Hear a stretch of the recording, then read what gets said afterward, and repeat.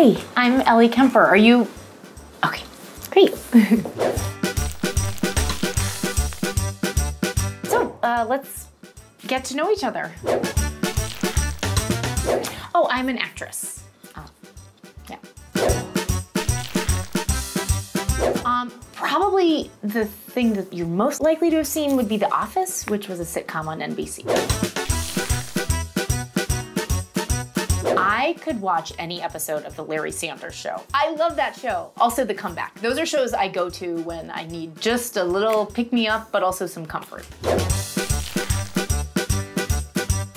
It does feel like home. I really like New York. Um, I've lived here now for, oh my gosh, off and on for 20 years, and I, I love it here. I love the diversity and the range of stuff to do and the busyness, and it feels very vibrant. You know, a quintessential New York moment is probably what happens pretty much every day, which is that New Yorkers go about their own business.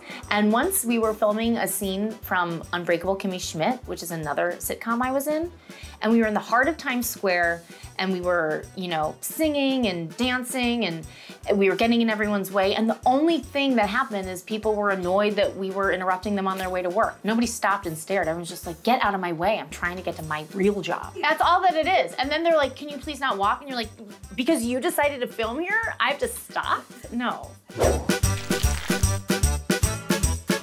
I've been having the weirdest dreams lately, but they won't make any sense. And they're usually so obvious, it's just from something that happened that day. Like there was this really aggressive squirrel in the park when we were eating lunch the other day, and that night I had a dream about like a monster squirrel. I'm so simple. It's so dumb, but it's true. Oh, I, you know, 15 year old me might think that I, I was uh, cool is the wrong word. I think 15 year old me would be like, wow, you made it to 41. Keep going. I would rate this date as a nine, mostly because I've been doing most of the talking and I love to hear myself talk. Well, listen, this has been really fun, but I actually have to get going. Wait a minute. Also, I just remembered I'm married.